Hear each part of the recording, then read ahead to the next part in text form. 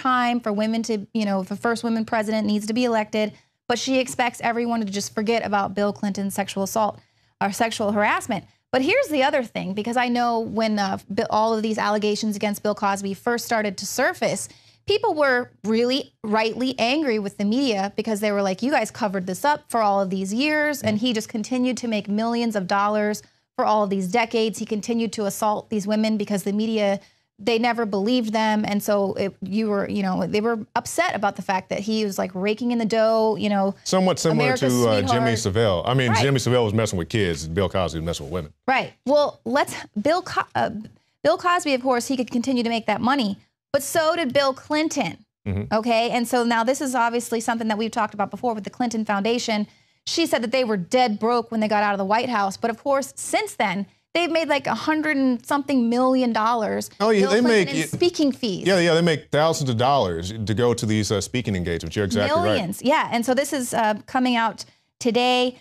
This, I believe, is CNN, where they're like, Hillary needs to set some some ethics guidelines, and it's like, oh, oh yeah, let's go ahead and see if she's going to start setting those guidelines right now. But they point out how while she was a Secretary of State Bill Clinton reportedly earned tens of millions of dollars in speaking fees, uh, including over 16 million in her last year in office.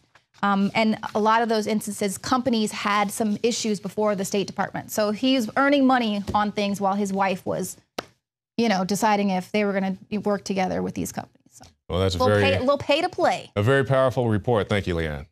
Now, coming up, we have an interview, the bombshell interview Alex Jones conducted with Sy Hersh. He is a Pulitzer Prize winning journalist, and he's been documenting how the Pentagon is refusing to back Obama's orders, the very unconstitutional ones, to support ISIS. That's coming up next, and you do not want to miss it.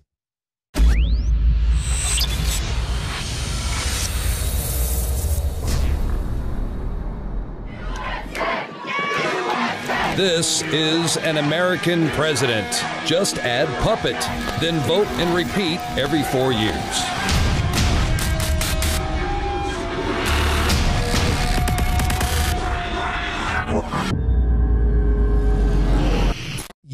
Guys have the exclusive for, which is a product called Deep Cleanse. And why I'm so excited about it is it's a unique formula, almost like the iodine crystals. We have two unique products that nobody in the world has. One of the most amazing ingredients in the world, and it's called shilajit, and it's actually known as blood of the mountain or rock sweat because thousands of years ago, as a matter of fact, this ingredient was only given to the elite of the elite. Thousands of years ago, up in the Himalayan mountains and in Tibet. And we wanted to put this in stuff for, for a couple years, but we couldn't get an organic form. Right. I mean, so I, let's explain. I mean, we, this stuff's so good, we couldn't put it out for years. Right. So I had to actually, it's kind of like the iodine crystals, finding a source deep in the earth that we could get the cleanest source available.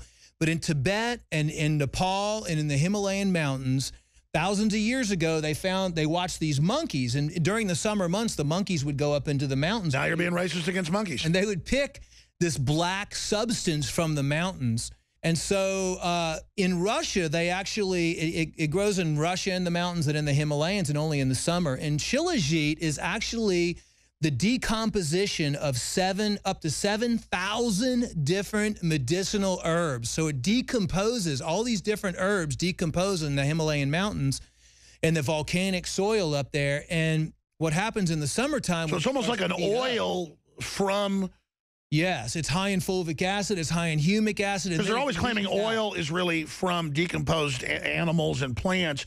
There is some oil that is based from fossils, but most of it's really abiotic. But so, so this is a true fossil uh, source? I mean, explain it to me. It is, uh, it's really the decomposition, like I said, of over 7,000 different medicinal herbs and plants. And it, and with the rocks and the pressure deep in the mountains, it freezes and and during the summertime and the pressures build it up, it oozes out. It oozes out. So it literally oozes out of the mountain. It's like rock sap. It's like rock sap. It's black and it's highly nutritious.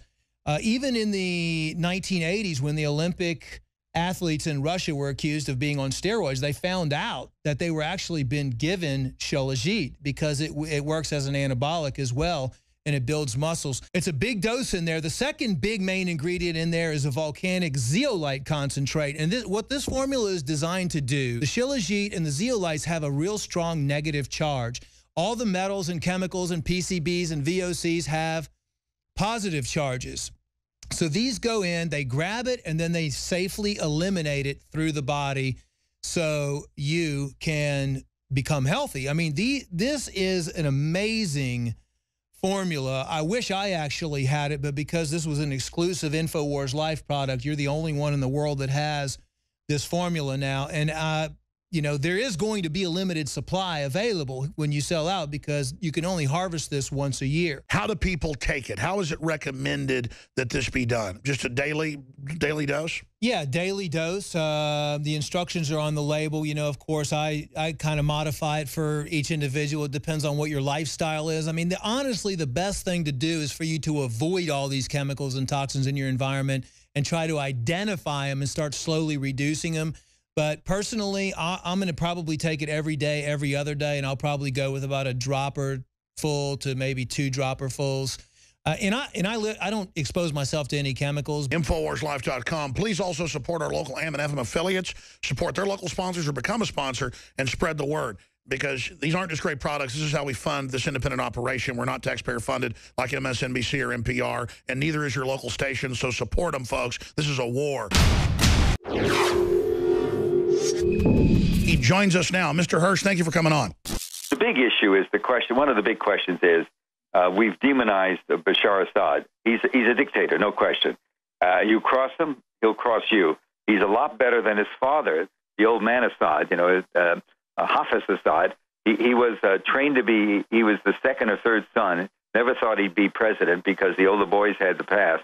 Uh, went to medical school, was an ophthalmologist, married a, a very second generation uh, Iraqi woman who worked for uh, one of the national, you know, investment houses, uh, American investment houses in London. And so he was not, all of a sudden there he's called upon. His older brother dies, and his father says, "You you better get a couple years of army training and get ready."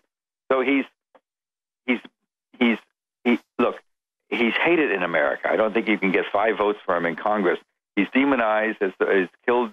There's about 250,000 deaths. But he's a lot better than Al Qaeda. Well, you know something, and ISIS and also, things have, I, I watched them for six, eight, ten years. I went back and forth there. I've been going there to the Middle East a lot since 9 11.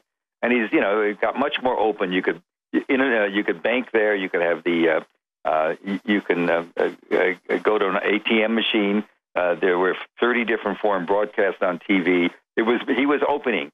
Yes, when you cross him, he's going to fight you to the end. It's a war to the end. He's fighting um, uh, ISIS.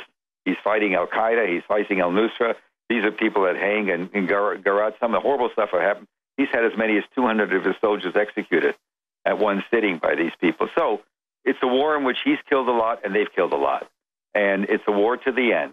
Uh, and and he's uh, the, what I wrote about in part was that the, our Joint Chiefs um, decided some years ago, on the basis of intelligence reporting, that there really wasn't any option, that there really were no moderates. Although we, the, the White House keeps on talking about there are moderate groups in the opposition. There were at one time, but they were quickly taken over and cleaned out by the more radical jihadists, uh, you know, people who believe in Sharia law.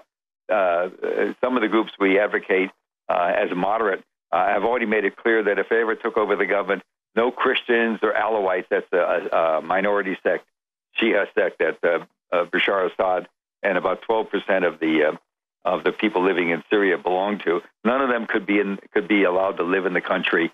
They were talking about genocidal, you know, uh, uh, genocidal cleaning, cleansing, if you will, of a society. That's those are the moderate groups. So there, there you are. Um, so the option was the Joint Chiefs looking at the intelligence, looking at the fact that we had been supporting for years covertly. Uh, this is through the CIA, David Petraeus. I would argue that Hillary Clinton surely should have been aware of this. She was Secretary of State. We began to, after after uh, Libya fell, we began to funnel stuff that um, in an earlier article I called the rat line. Um, a lot of arms from Libya into Turkey, and from Turkey, uh, the uh, the gentleman running Turkey, Erdogan, is a is a total complete supporter of ISIS. I don't think there's any question of that, even though we deny that. Our intelligence shows it. So I, what I wrote about is the fact that, that two and a half years ago, the Joint Chiefs decided, well, they can't convince the White House uh, and the State Department with intelligence. They're just going to begin to do what they can do to try and modify uh, the American policy. It'll make it less, you know, um, they, nobody wants to talk about directly challenging a president. That's not your job. But I will tell you, at the certain level, at the Joint Chiefs, the level of four-star generals, the oath of office is an oath to the Constitution, not to the president. That's right. And it, and it's very traditional. Douglas, you can go back to Douglas MacArthur. You can go back to World War II fighting. You can go back to terrible fighting in Vietnam. President Eisenhower, as the president, challenged the military-industrial complex as go. a system himself, the ultimate level, still a general, saying, I want to challenge the people that want to control our military for their own aims. There you go. There you go. And, and you can even argue that the hatred for McNamara by the time he was ready to get out of there in 67 because he refused to listen to the generals. We've always had generals in opposition. So this isn't new. What they did, though, instead of directly challenging the, the uh, Joint Chiefs, as I wrote about, beginning in the summer of 9, 2013, after a lot of intelligence showed that our path was wrong. We weren't going to win. Uh, if we got rid of Bashar, we were going to have a government uh, completely full of, of wackos, you know, wingnuts, uh, a hard line to take off their head people. Clearly worse. Uh, I, I, I mean, a whole new Afghanistan. Well, there you go. Well, look, Afghanistan's still a mess right now. You know, people always talk. I, am a big supporter. I, I, uh, I, I was in the Army. Uh, there's nothing better than America. It's the greatest country to be in, but we do have a lot of freedoms. And I will tell you that our, our special operation forces, the Delta Force, uh, the, the SEALs, they're terrific. They're very good at what they do, but they're being miscast. This is we're now in 14 and a half years Absolutely. of a war against an idea, and the Joint Special Operations Command, for all of their ability to go hit a house at night and kill people and take them out, we're not winning that war. Well, you know, it's interesting. What they did was because they didn't want to go directly to Bashar Assad because the president had ruled that, you know, that's, that would have been direct violation. But we did know that the Germans, in particular, the German intelligence service and the German high command, and get this, the Russians and the Israelis, all three had been in contact with Bashar Assad because all three, even Israel, which sometimes you know doesn't always speak what the real policy is, uh, they've got a lot of problem, government problem, leadership problems. But the guys running the military and intelligence system in Israel had the same point of view as our the guys running our, at least that, that were running our Joint Chiefs, because the general at the time was General Dempsey. They're saying Martin Dempsey, who's now retired. There's a, he's, there's a new chairman, and we we don't know where he stands on this because publicly he said little. He's only a couple of months into it. Uh, uh, I understand a very competent Marine named Dunford. I just don't know much about him. I know more about Dempsey, and was Dempsey the big hero in this? Going to Obama saying, "Well, I, you know, he wouldn't look at it that way. He just did something." It, it, the issue was we were going the wrong way. The Germans and the Russians and the Israelis were begging for intelligence. One thing America does, and we do it very well, we have terrific intelligence. We have satellite, we have SIGINT intelligence. We do have people on the ground. You Believe me, we could do better. We can do better than than anybody wants to write about with certain groups. We can penetrate people. We're not we're not incompetent, but often it's the leadership that gets you in trouble. So they decided that the Germans, in particular, were kept on saying, "What what can you do to help us?" They they began in the fall of 2013. We began to shovel stuff that we had about um, Al Nusra, Al Qaeda, ISIS. We began to shovel information not only about where they were, but what they were thinking, as much as we learned. And so we enabled uh, uh, Bashar's army, the Syrian army, which right now has probably emerged and it's been fighting a tough war for four years it's emerged as one of the better armies in that area. Um, uh, a hell of a lot better armies, for example, in the Iraqi army or Battle anything train. we have in Afghanistan. So what they did is they did it that way. And that way they were sort of, as somebody in the article I wrote said, you know, um, uh, the, the, you know, we're doing stuff military to military. The president may not have known, but there's a lot of stuff he doesn't know about. So that's the way they got around the issue. And they began to help it and help Bashar. Not only that, it was very much a morale builder for the Syrian army to know that uh, they were getting very high level intelligence. So I don't know how history is going to judge this. Um, the, uh, as as you can gather, stories like this uh, in the mainstream press don't don't get copied, um, but it doesn't matter because there's the internet. You know, there's guys like you and and uh, um, uh, all sorts of other people around the world that pay more attention than often the major papers here. You know, I worked for the New York Times for eight or nine years during Watergate, and I won a lot of prizes in Vietnam. And uh,